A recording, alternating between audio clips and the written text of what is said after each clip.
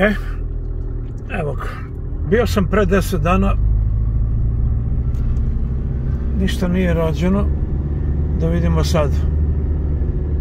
Evo neka cisterna je kvase put da ne bi bilo prašine.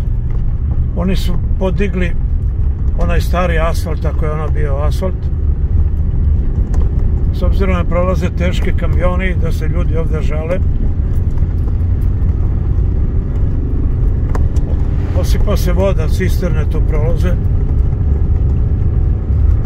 Ali je, evo vidite kako. Loše. One strugotine su odvežene. Evo tu je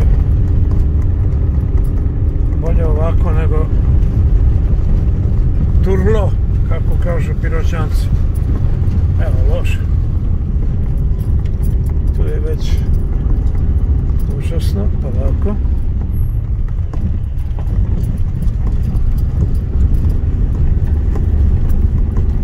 Evo ga centar sela.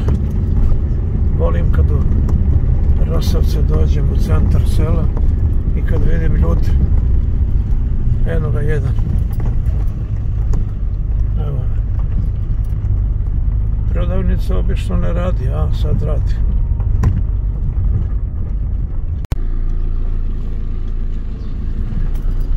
E, još ovo da vam pokažem i više neću. Sve ostalo kad stignem u Slavinju moram da žurim. Sve ovo šaljem odmah Sonji i ona će postavi. Sad je 25 do 12.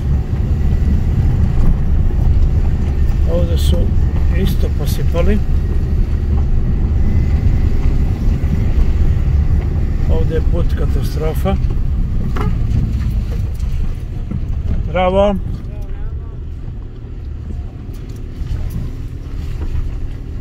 Evo i gospođe, pogledajte. Frizure sutra za Kerber.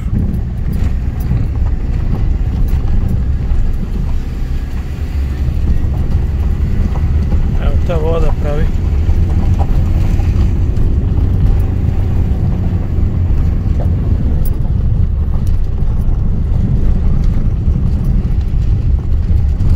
Tu morate polako, nemojte kao ja.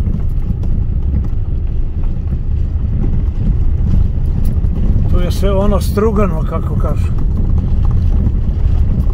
A pogledajte ovo. 110 prepana. Polako. Opa. E, ovdje su krpili rupe, ali je put a tamo katastrofa. E, toliko.